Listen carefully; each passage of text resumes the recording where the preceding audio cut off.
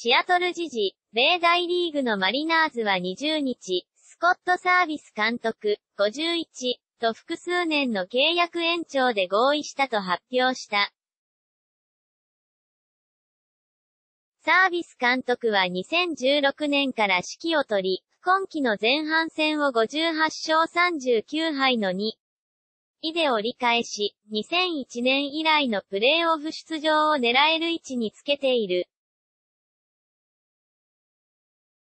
通算222勝199敗で勝利数は球団史上4位、時事通信社、